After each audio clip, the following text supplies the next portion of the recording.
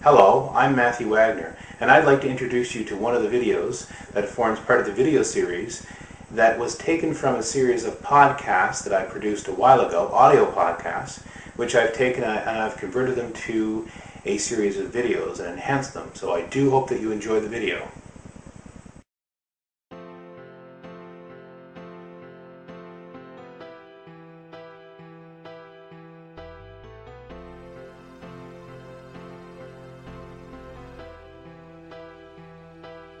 Hi, and welcome to another podcast brought to you by PanicAttackRecovery.com, home of the newsletter all about anxiety, panic attack, and agoraphobia recovery.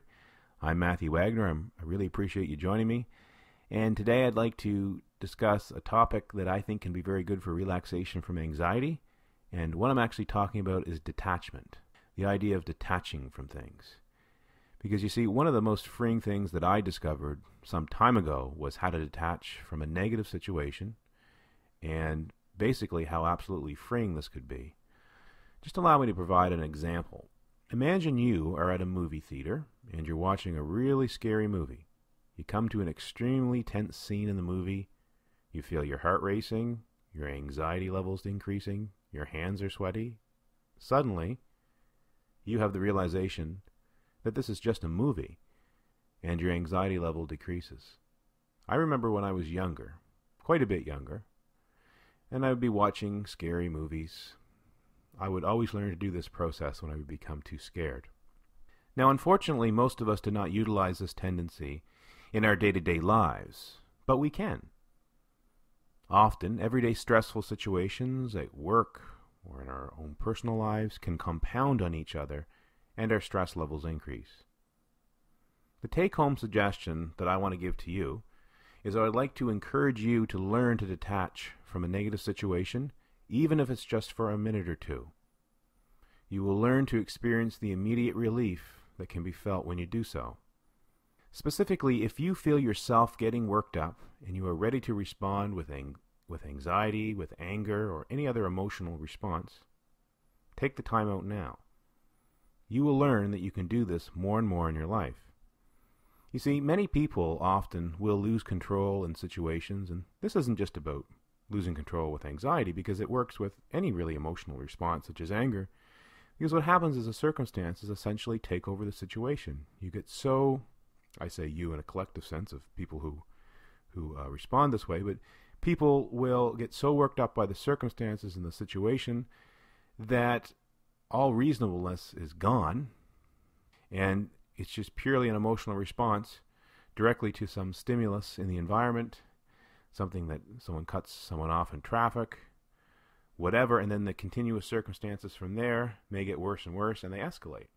You often feel this when you when you are around someone who's becoming very angry.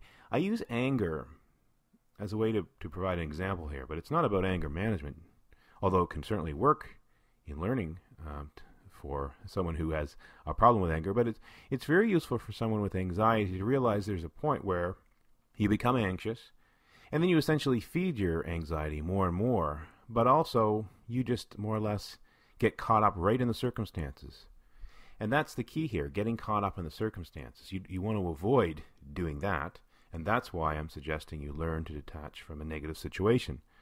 Now, unfortunately, um, I can't give you a specific set of instructions on how to how to do this. It's something that we all have in us, inherent ability to detach from a situation, but we have become so habituated to responding with anxiety, you know, as panic attack sufferers or anxiety sufferers or agoraphobia sufferers. That's our natural response, but we can learn to take a time out when we feel our anxiety getting higher and higher, and even if you just start by practicing this suggestion for a minute or two minutes, and over time you gradually increase the time frame, the process will work. So, really, um, I would say that you just take a situation, any situation for practice in your life, where you feel things are escalating, whether it could be, you know, you're getting more angry or you're getting more anxious, and you start to just take a quick time out and over time, you increase this timeout. So let's say that you are doing something and you take a minute timeout one day.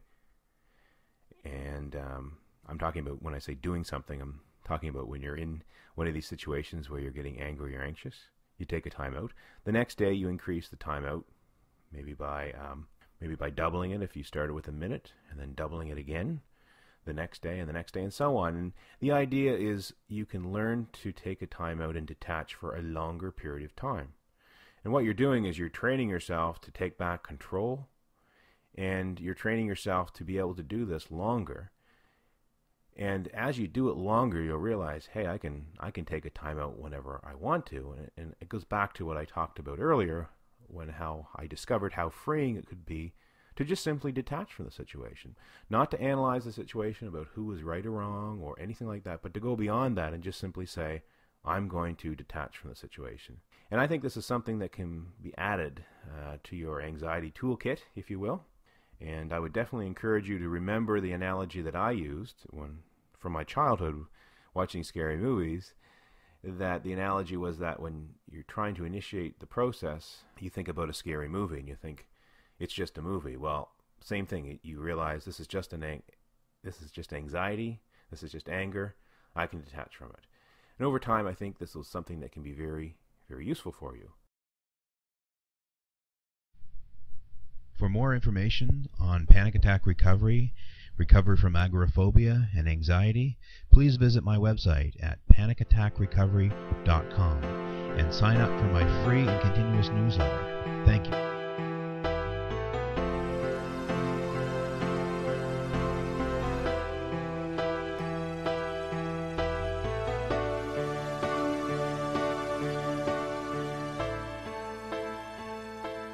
The material in this newsletter is provided for educational and informational purposes only and is not intended to be a substitute for a psychologist, psychiatrist, or other healthcare provider's consultation. Please consult a psychologist, psychiatrist, or appropriate healthcare provider about the applicability of any opinions or recommendations with respect to your own panic attacks, anxiety, and agoraphobia, or any other symptom or condition.